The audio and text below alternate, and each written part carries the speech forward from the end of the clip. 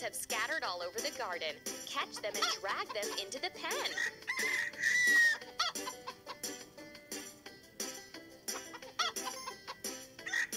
Amazing! Amazing!